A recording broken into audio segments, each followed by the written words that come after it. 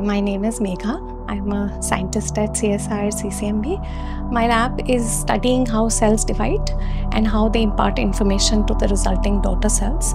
This is very important during early embryonic development and uh, correct cell division is essential for normal embryonic uh, development and formation of different structures. Any defects that happen during mitosis will result in altered cell fate, abnormal tissue architecture. Sometimes it results in congenital syndromes, which are uh, a group of uh, defects that happen in the children. So what we are trying to use is a zebrafish model uh, to understand how cells divide during early embryos. Zebrafish is a very good model for this kind of uh, research because the embryos are optically transparent. So one can perform live imaging at a very high resolution and it has a fantastic genetic toolkit. So we can do a whole lot of genetic manipulations, pharmacological screens and um, drug testing in this model.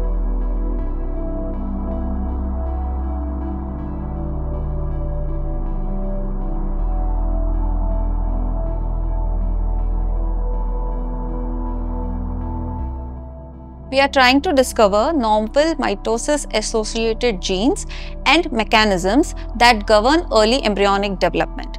The main focus is to understand centrosome associated genes and proteins as well as microtubule motors such as dynein as to how do they correctly regulate early cell divisions. Through these studies, we hope to gain a mechanistic insight into the molecular regulation of various mitosis-associated congenital syndromes such as microcephaly, where, which is a small head phenotype in the human infants.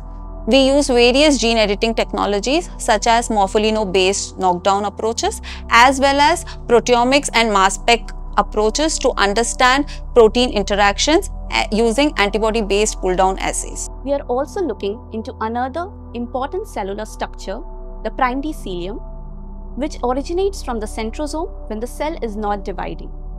Primary cilium is essential for many cellular processes like sensing, cell signaling, and maintenance of tissue homeostasis. Any structural or functional defect in the primary cilium leads to a group of congenital disorders known as ciliopathies.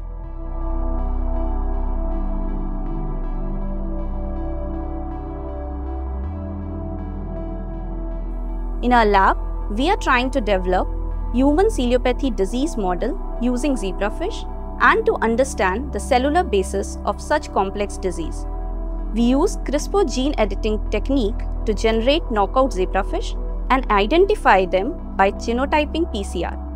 And further, they are characterized for disease-associated phenotypes. Besides studying cell division in early embryogenesis, we are also interested in studying cell death. To visualize dead cells, we fluorescently label them in one-day-old zebrafish larvae.